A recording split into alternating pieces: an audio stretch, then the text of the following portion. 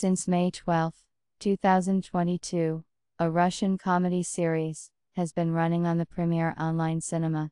Actors Alexei Maklakov, Andrei Merzlikin, Ivan Mamonov, Alexei Udaltsov, and others participate in the first season. On May 17, 2022, the third episode of the season is published. On May 19, watch issue 4.